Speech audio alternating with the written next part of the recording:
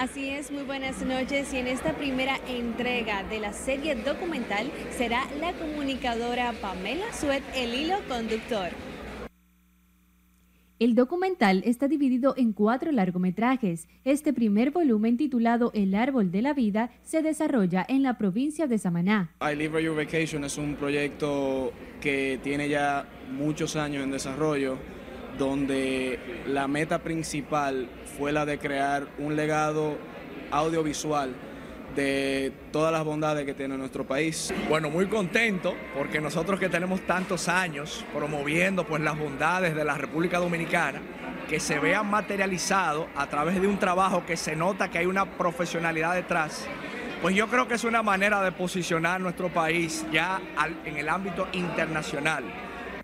El film estará disponible a partir del 25 de julio en las salas de cine de Fine Arts Cinema Café at Novo Centro.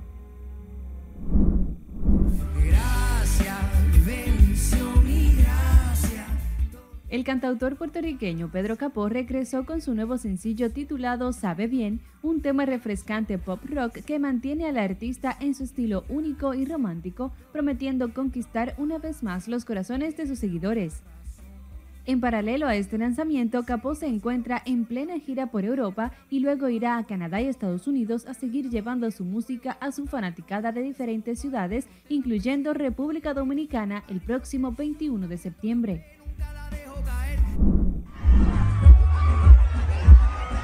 La dominicana Toquilla lo hizo otra vez, por segundo año se convierte en la estrella del orgullo en Europa, presentándose frente a más de 140 mil personas en el Festival Pride Barcelona 2024.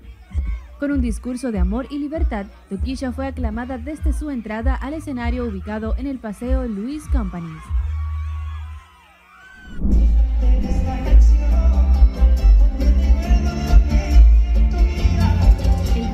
Liderado por Romeo Santos, se ha estado adueñando de grandes ciudades con una gira de reencuentro inolvidable.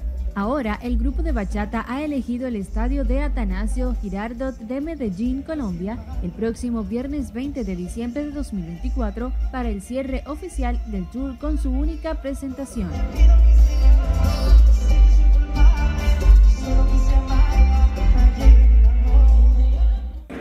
Y esta información ha mantenido en vilo a los fanáticos dominicanos por saber si la agrupación se presentará en el país. Hasta aquí las informaciones de entretenimiento. Que tengan feliz resto de la noche.